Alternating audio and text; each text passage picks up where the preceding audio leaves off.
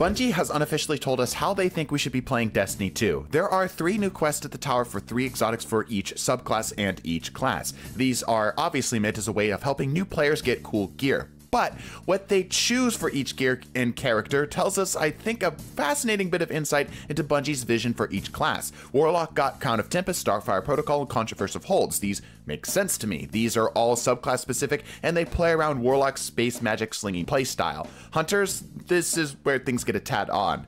Young Ahamkara, Spine, and Graviton forfeit, so far so in line with what I think most people think of the Hunters for the subclasses, but for Arc they got Sixth Coyote, which is a subclass neutral exotic and frankly not nearly as quote unquote on brand as something like Liar's Handshake.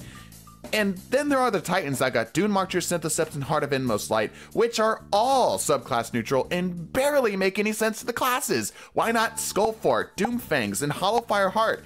Anyone got any ideas? Please leave a comment.